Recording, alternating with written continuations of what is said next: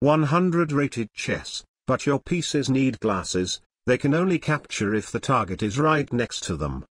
Wow, I believe this is the first time ever that we have a situation where it doesn't matter whether do I say or pawn, not pawn, or not say anything at all.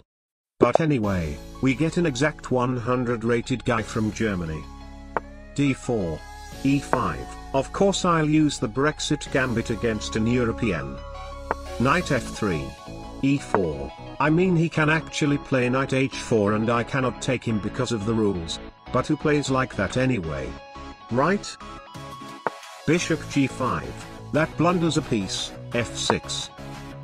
A desperado, now knight takes should be the best move, but according to the rules, my knights actually cannot take anything, therefore, g takes is kinda forced, poor horses, they are absolutely useless in this game.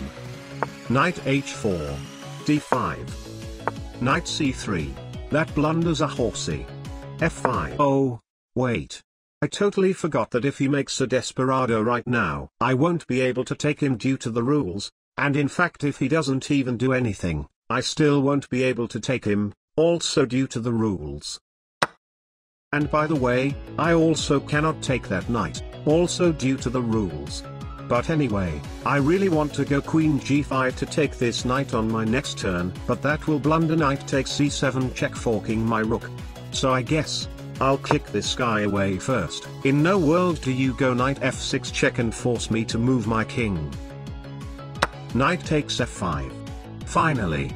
c takes d5. It's kinda weird that this knight is the one that got blundered, but the other knight had to die instead. B4. Aha, that blunders a queen to bishop takes b4 check queen d2 bishop takes d2, but sadly, the rules are ruining the fun again. Queen g5 e3. I'll take this knight, my queen is obviously much stronger than the other pieces in this game, so I'll use her to her maximum value. Bishop b5 check. Very aggressive. Bishop blocks. Bishop takes king takes. Or not. Bishop c6 bishop takes pawn takes cd5 cd5 g4 queen d7 f4 aha.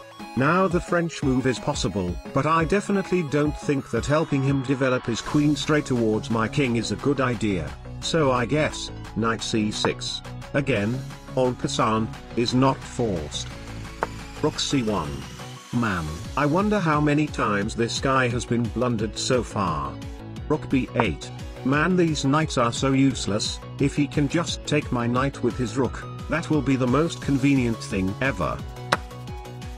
Well I think we can all agree that sometimes convenient things like this do happen. Queen takes c6. f5 bishop h6 rook f1 queen c4 king d2 testosterone queen b4 check king c1 queen b2. Checkmate. Mission accomplished.